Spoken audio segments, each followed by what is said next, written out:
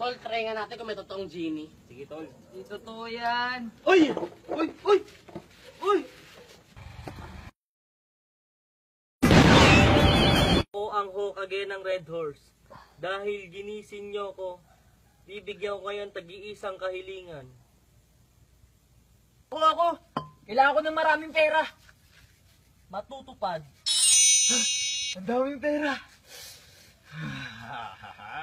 O ikaw, ano ang iyong kahilingan? Kotse, kotse! Matutupad. Yun! Tignan mo yung susi dyan sa bulsa mo.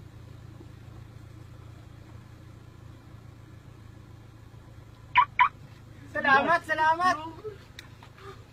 Ang kukorni ng mga hiling nila eh. Ang hiling ko, sana maging ka-forever ko yung crush ko. Hindi matutupad, walang forever. Walang forever. Napakasakit,